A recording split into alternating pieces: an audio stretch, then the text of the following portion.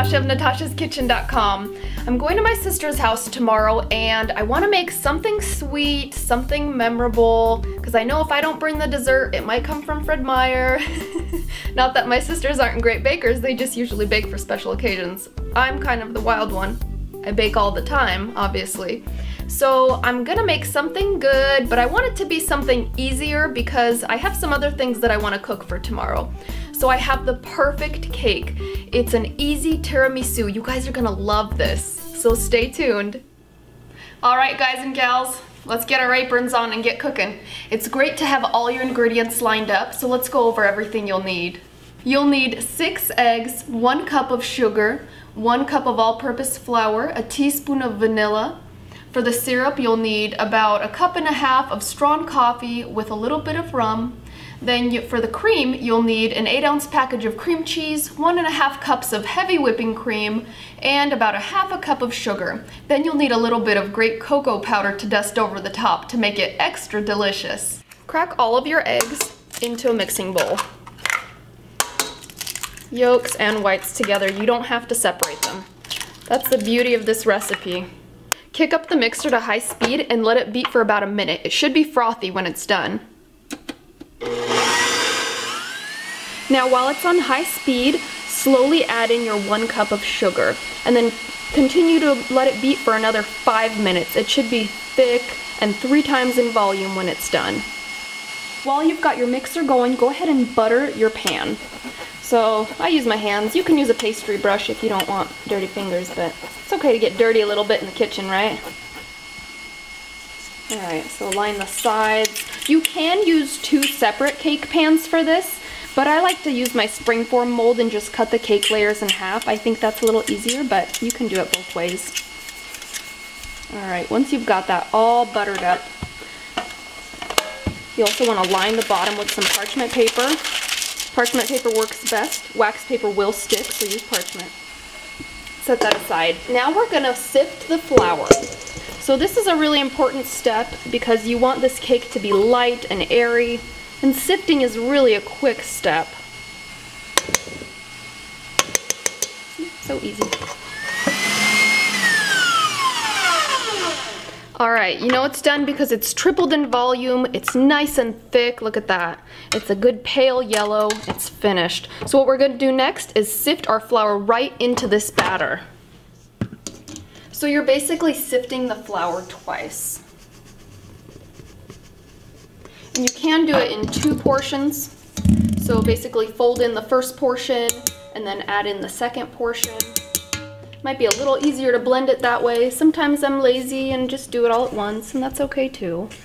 And when you're mixing, just try and mix it enough to get the flour well incorporated into the batter. You're really relying on the volume of the eggs to make this cake fluffy, so don't deflate it. That's key in making this cake. You see how thick and beautiful that is right now? All right, we can add the rest of our flour. Just sift it right in. And just continue mixing. Make sure to get it from the bottom too, just in case you have little pockets of flour down there like that. This is a European cake. We call it the biskvit. You might refer to it as the biscuit cake. It's a sponge cake and it's excellent just to absorb those syrups that you'll use in cakes. Um, you'll see this cake all over my blog. It's the base to some of my favorite cakes. So once you've got this down, you know how to make most of the cakes on my blog. And it's so easy. Before I forget, oops, sometimes I do forget, and that's okay. Add a teaspoon of vanilla. And that just adds some really good flavor to this cake. Luscious. All right, now that it's done, I'm gonna transfer it into my prepared pan.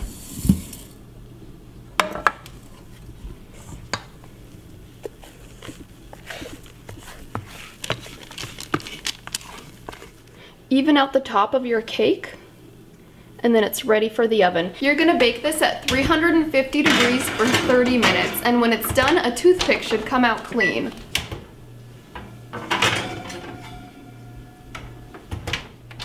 Let the cake cool for about 10 minutes once it comes out of the oven and then um, get it out of the springform mold. I use a really thin edge spatula and put it on a uh, wire rack to cool down. And you're gonna let it cool down all the way to room temperature. You're not gonna frost a warm cake or your frosting's gonna melt.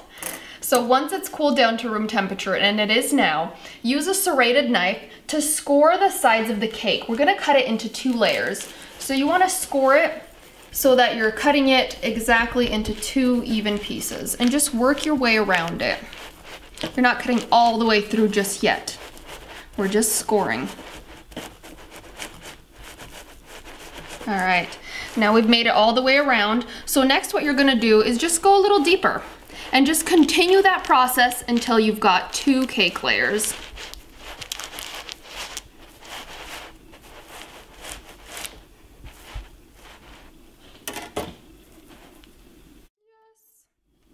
And then make sure also to take off that parchment paper on the back.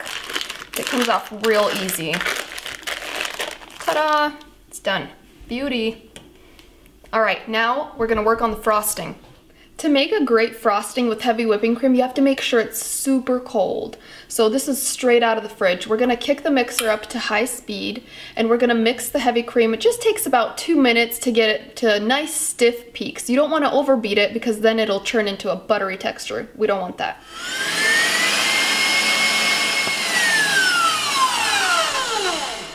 All right, you can see that cream is done because it's got stiff peaks. It's not buttery. You don't want to keep beating it any more than that. It's perfect. All right, now transfer your whipped cream into a separate bowl because you're gonna whip the cream cheese with the sugar next. And in that same bowl and using the same whisk, no need to wash it. Think about the dish factor. Add in that cream cheese and your half a cup of white sugar. You're gonna beat that on high speed for a couple minutes just until it's nice and creamy.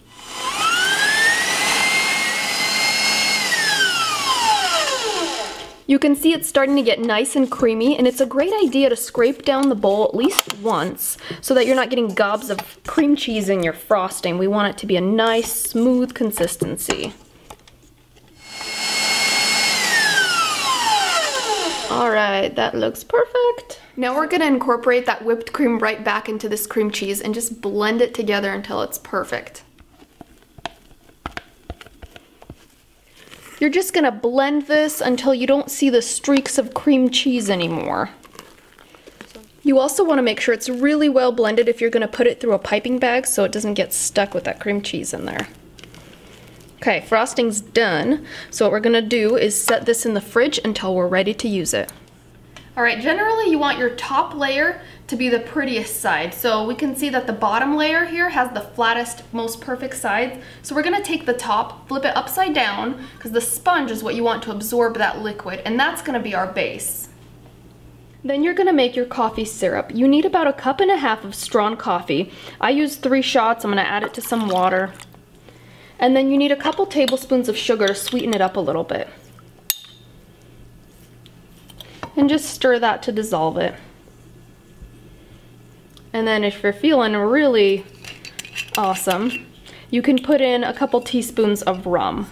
You can totally omit this. You can even use a little bit of vanilla if you want to. Just adds an extra little something something. All right, once that sugar's dissolved, what you're gonna do is brush that syrup generously onto your cake. Okay, so you should get rid of about half of this syrup by the time you're done and I like to brush it on. It takes a little bit longer, but you know, if you just pour it on, you get these big globs of syrup in there, and we don't want that. We want it to be evenly distributed. I wish you guys could just lean in and smell this. Oh, coffee with rum. Yum. All right, nice and moist. So next, we're gonna use about a fourth of our frosting and spread it evenly over the top.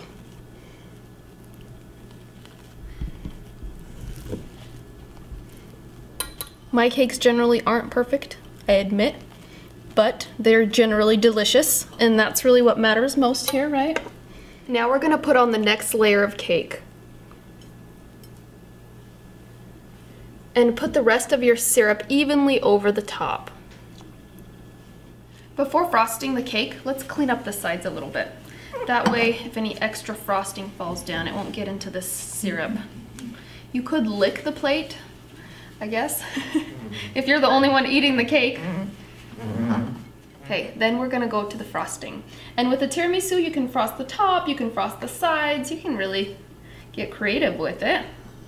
And if you make this and post it online somewhere, tag me so I can see it. I'd love to see your creations. You guys get so creative with the cakes. All right, cake is all smoothed out and done. Got a little bit of frosting left, so I'm gonna decorate.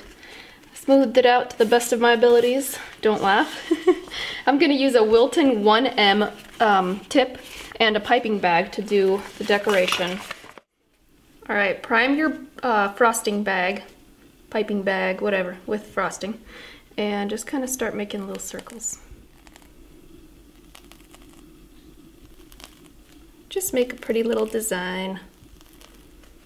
All right, we're all done frosting and we're going to dust the top with cocoa powder. And I've got the real stuff here from the House of Chocolate in France that my friend Ina brought for me. So just dust it on there. Don't be scared.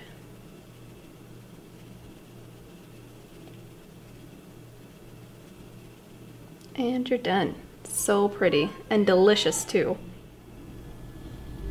Yum. Now that is the perfect tiramisu. I hope you guys enjoyed spending time with me in my kitchen.